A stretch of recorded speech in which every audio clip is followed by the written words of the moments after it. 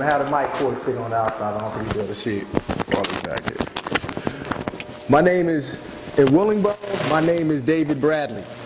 I grew up in Pennypacker Park. In the entertainment industry, everybody knows me as D. Brad. But my name is David K4L. But then again, tomorrow y'all may see me, I may say something else different, because that's just how I get down. This is how I do. Because, you know, we black, we melanated people. See, we, we are undefined and uncontrollable. And just to go off on a little tangent, I think my own opinion is that's what gets us as black folks caught up in trouble because we keep trying to define ourselves, and especially defining ourselves based off the construct of someone else who is attempting to be us. All right, now, I have a documentary called Confessions of a BET Producer. So I always like to, if I'm going to name what I do, is called Confessions of a BET Producer. And what I'm going to do is keep this really short and in the capsule because I love listening to my man Black Dot, what he brings to the table. I'm just a dude that actually put a lot of this work into plan. I started interning at MTV in 1997 through 98. And this was in 19, yeah, 19, I think about 1998 actually is when I had my major first experience. Every day all the white people at MTV would sit around between the hours of 3.30 and 5 o'clock and watch BET. Finally one day I walked up to him, I said, hey, I don't even watch BET. Why y'all sitting around watching this? Every white person turned and looked at me and said, hey, this is how we tell what black America's watching, what black America's doing. So, so and, I, and I watched this go on for the whole semester. Every day like clockwork, it'd be 20 some odd white people sitting around one television watching Rap City, watching a little bit of Video Soul. Then they would go about their business. Well, fortunately for me, the next year I was hired right out of college to work um, at BET on a show called By the Book. And I brought that technology with me over to the black television station. And um, to make a long story short, just to throw, run down my resume really quickly, I created that show called Spring Bling. Um, artists like Eve, I put Eve, I helped create that image that we see of her now. Um, even after I left BET, I was Dave Chappelle standing, so I saw everything that happened with him. And to make and, and to really capitalize it even more, basically since 1997, whatever has happened in urban America as far as the perception on television and film, I was basically the fly on the wall. That's why this brother is so correct. Oh, there you go, was so correct when he says we are at war. And I know it's somewhat difficult to believe that a war can be anything other than physical, but it is. This is why the civil rights techniques don't work anymore. This is why black people march and it gets no real headway. Because believe you me, that Jena 6 march meant nothing they were going to let that dude out anyway. As a matter of fact, they didn't even let him out when they marched. They let him out a week or so later. You know, even a lot of these groups now that protest BET, what they have to understand is this was a plan. And how do I know? Because I was a part of it. I helped implement this plan. It's just at the time, I was naive. I didn't know. To me, it was just, I grew up in the golden age of hip hop. So to tell me you pay me two, 200, 250 a day, sit around and talk about rap music, listen to rap music, hang out with rappers. Well, hell, I'd have done that for free. So for me and the fellas around me, it was all fun, but we did not know that we were a part of a system. And my vice president would always tell me, he would always pull me out from the bunch and say, D. Brad, look at the big picture. I thought the big picture was black America. I had no idea that the big picture was being a part of this system because it's not even really about color per se. It's not even really about the white boy hates black people. Because the average white person is just ignorant, and even more ignorant than the average we think the average black person is. Because they really believe that foolishness. They, they don't have anything to show them that they're superior. So whereas black people that believe that decadence, sometimes we look out in the street, sometimes you have to ask yourself, do we really come from Egyptians with the way that, that black folks be acting? So I can understand that. But that's the, that's the one thing we need to understand, that this is more of a war on black people because of perception. This man has to write himself into world history. Like, like everything we do today, we read the Bibles, the Qurans, whatever we read that's religious text. If you have any common sense, you know that you're reading about black people. No one should have to tell you that. We, we're reading about black people. Well, this age is over. This life cycle is done. And when the new one starts, what has to happen is he has to write himself into the history of the world. And how he does it is visually. See, our parents, our ancestors wrote in walls and wrote in stone. The white boy uses film, television, DVDs, CDs. They don't use records anymore, none of that stuff. You understand? They use what they use visual implementation of a certain psyche. So when you wonder why you see so many young black gay males today, it's because it's source it's literally sorcery that's done. And how do I know? Because I did it, but I did it from a different perspective. When I first put um, Eve on television, it took her out of the Ruff Ryders jersey and, and, and all the, the, the rough tomboyish attire. I made everyone think that she was talented. I made the viewing public think Eve was viable. But we all know Eve is not a great rapper. She's not a great actress. None of that. But somehow she became a star. Why? Because the people believed it. Because I knew from what I was watching the white people do on MTV that people believe what they see on television. There's even a commercial on right now that they basically tell you the trickery that goes on. My man is um in semi what's the film Semi Pro, Will Ferrell. Listen to his deodorant commercial and what he says. This is what is done in television and film. He tells you that something about 300 uh, uh, sweat glands or pores. He said, I don't know if that's the actual fact. But then uh, 30 seconds later, he tells you, but use this deodorant and you'll close all the 300 pores, and that's a fact. You understand? And I've watched. I've, a lot of black folks don't also don't want to believe that yes, there is a room of people that sit and conspire. And then once again, how do I know? Because I was sitting in the room half the time. And some of the stuff that I would hear these black folks say would be like would blow my mind. Yes, I have heard BET executives say that the BET audience is not that intelligent. Right in my face. Intelligent. Right in my face. Um, one of the one of the glaring examples I use is that um, there's a brother named Cousin Jeff on um, he's the conscious, the resident conscious black man on BET. He did a week-long series on the word nigger and how it was just derogatory ABC and D. I happened to watch, and I cannot recall the brother's name, and I love giving him credit. It was a documentary called Africans in Asia. Do you know the brother's name? Eugene Adams. Eugene Adams. I think everybody black should watch Africans in Asia. I stepped to this brother. I'm like, yo, I'm like a born again Christian. Yo, Jeff, I got the black people that really niggas don't really mean ignorant, this, that, and the other. Jeff looked me up and down. He said, D Brad, I know that. I said, well, dog, you just did a whole series about, about the word being meaning ignorant. He said, ah, yeah, but black America's not ready for that yet. You understand? I even, what happens in television and film that we all rely on so much is that those in power know that if they attack our five senses, our five carnal senses, and which basically all lead to some form of physical pleasure. We get off work, we tired. So I'm to turn on reality television, which ain't reality because I worked on the number one reality show in America for two straight years, and I know for a fact that there were plenty of times they said, okay, cut that. Now, when you come up this time, act like you didn't see the car. I've, I've shot it, I've sat there and watched.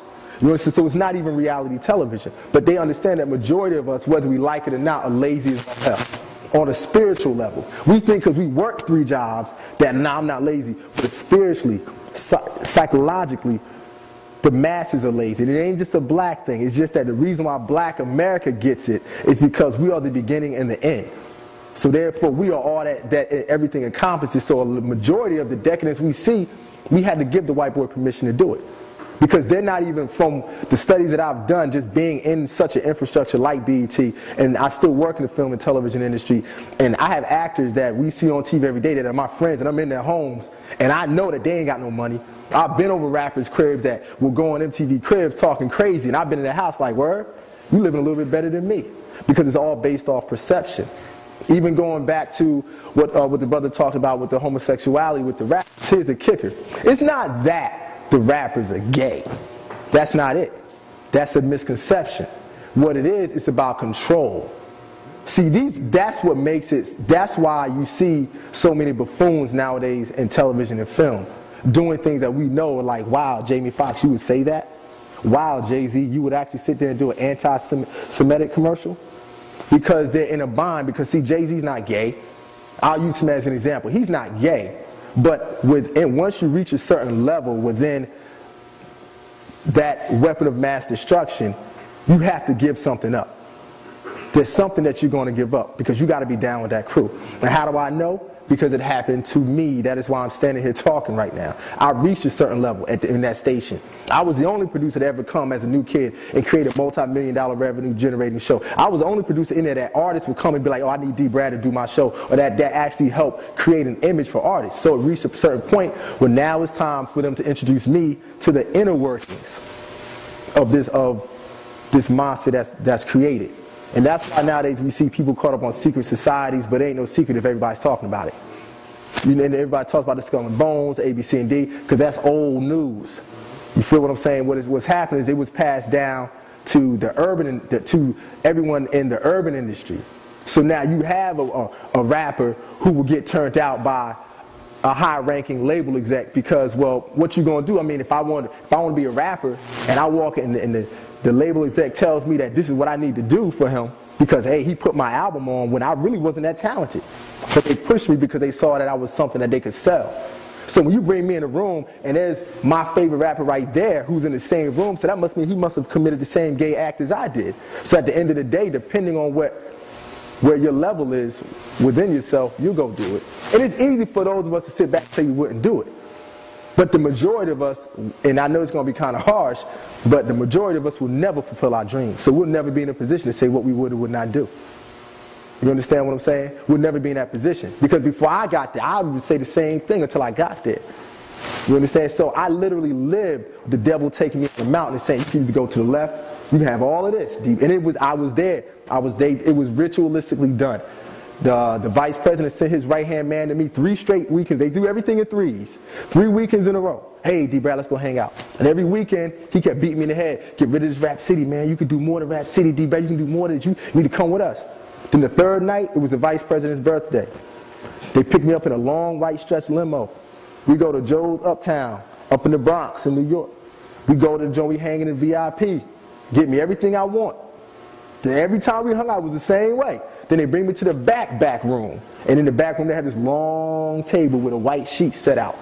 I mean, beautiful thing. Looked like the damn Last Supper. On one end is Derek Jeter, there's Stephon Marbury, there's Fat Joe, and I'm chilling.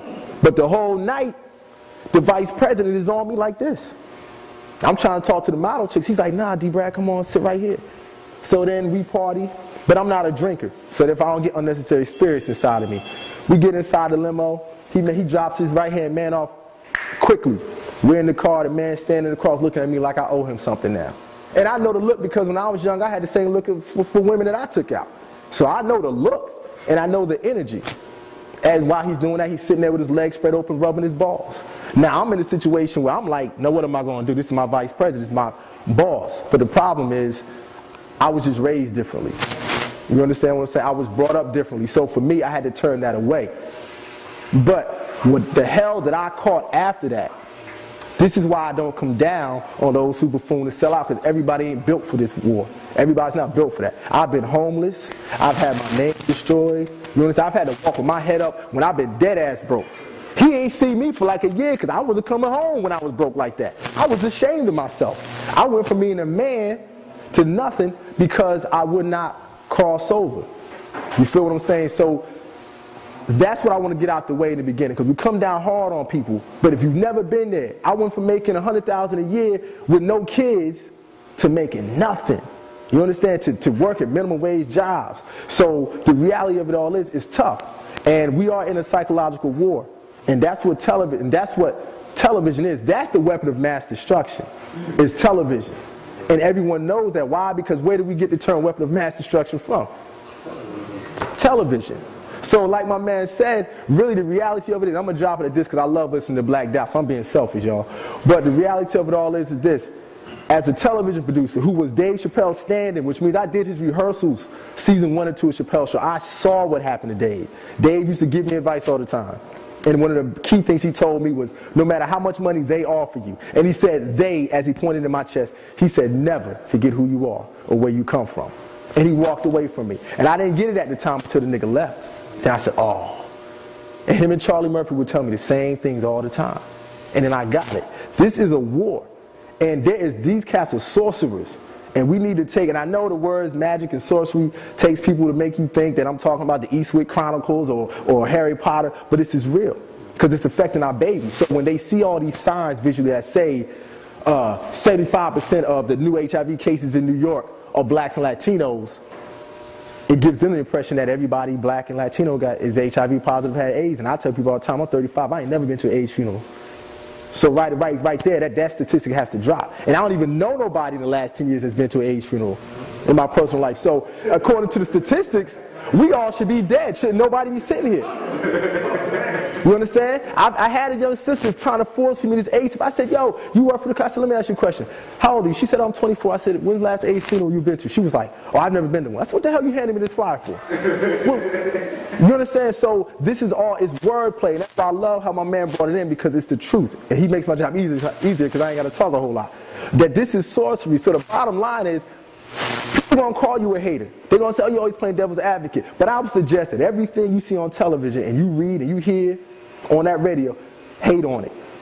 And the, and, the, and the purpose of knowing about Jay-Z and a lot of these rap artists in the secret societies is not really to obsess over it. Because the magical way to, to dead all of that is to ignore it. It doesn't exist. Like I have a saying, to me, pigs, cops don't exist. Because when I see a pig, I see a person. I don't see a cop. And then that's if I even look at them.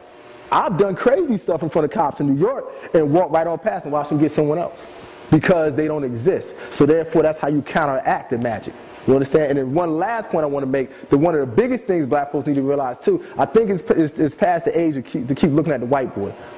What's holding black people back is there's a small group of black people in America that have all the money, that have all the power. I don't mean that are rich, I'm talking about that are wealthy. There's a big difference. They have all the money and the power that control everything as far as when it hits the black community. And they're called the Boule. And uh, brother um, Steve Cokely is where I got is where I got a lot of my research from, and as well as my brother Bobby Hemmitt and Dad Going. I forget my man's name who wrote it. And, what and say his name for me. There we go, my man too. and, and understand, it ain't just and now it's going and it started a lot of it started i think it was may 1st 1904 i think was the first what it was it was called what is it called? Psi whatever some whatever. Look it up.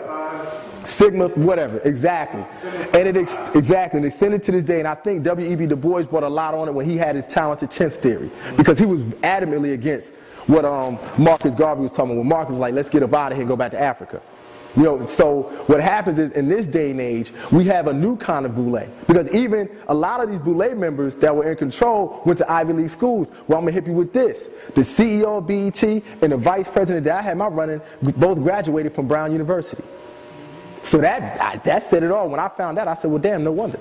You understand? And the boule ain't really just all about those people that have a lot of money, or that or the educated blacks. Like in my humble opinion, I say someone like Frank Lucas. Now I'm looking in the camera, like Frank Lucas, who they made this American gangster film, is Boule. Why? Because there's a difference between Nicky Barnes and Frank Lucas. Nicky Barnes really actually sold drugs in the context of what we a drug dealer would do. I go to the house in Miami and I meet with Pablo, or I'm on the corner in the back of some building. Meanwhile, Frank Lucas sat in a building with probably no windows with three white boys talking about what they were going to bring into this country. Big difference. And that is what hinders us a lot. So every time Bill Cosby gets up and says something negative about black folks, boule. Every time Oprah Winfrey says, oh, I'm going to open up a school in South Africa and these kids in Chicago are crazy, boule. You understand what I'm saying? All of this stuff we need to look into. Politics as well. Barack Obama is damn related to Dick Cheney, which is crazy because I say to black people, they act like, so what? Which is amazing to me. So I'm not really into politics but I'm into WWE wrestling, which is pretty much the same thing. Batista, Undertaker, you know, Clinton, Barack Obama, eh, it's all the same thing. So the reality of it is, is that whatever's being given, hate on it. I encourage people in 2008 to hate hate everything. If I give hate on what I'm saying, hate, be selfish, be angry. People say, oh, don't be angry, don't be mad. Why? Be, I encourage anger. I'm an angry mother. I'm an angry guy sometimes. You understand? And I encourage that because when you get angry, you're going to move on it. When you really get tired of having to go to work nine to five every day, you're going to start to question things. When you really get tired of paying them taxes, you're going to start to be like, why am I paying these taxes? Because really, according to their, their, their constitution, all the people that got to pay taxes in this country is a, a state lawman, a, a congressman, all that. So it ain't really us. So when we get tired of it, and that's why I encourage people, get angry. I think anger is a wonderful thing. I wake up angry sometimes, but I feel great. And I ain't gray. My skin ain't all messed up. So don't tell me that